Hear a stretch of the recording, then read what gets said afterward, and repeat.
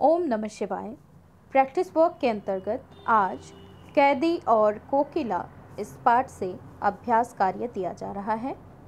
अभ्यास कार्य करने से पहले आप पाठ अवश्य पढ़ेंगे। पहला प्रश्न है,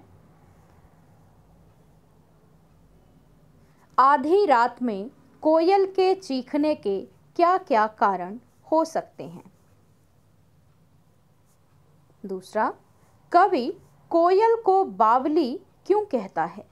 क्या वह सचमुच बावली हो गई है?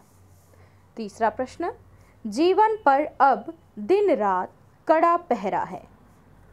पंक्ति में किसके जीवन पर पहरा है और क्यों? अगला प्रश्न, कवि ने ब्रिटिश राज का गहना किसे कहा है और क्यों?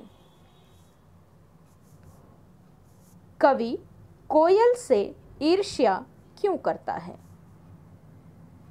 अगला प्रश्न, कोयल के गीत किस भावना को उजागर करते हैं? कैदी और कोकिला पाठ के आधार पर लिखिए। अगला प्रश्न, कोयल रात में करुणा जगा रही है, ऐसा कवि को क्यों महसूस होता है? कवि को अपनी दुनिया दस फुट में ही सिमटी क्यों प्रतीत होती है? अंतिम प्रश्न, कवि और उसके साथी कैदी जेल में अंग्रेज़ों का कुआँ किस तरह खाली कर रहे थे? इन सभी प्रश्नों के उत्तर आप अपनी लिटरेचर कॉपी में लिखेंगे।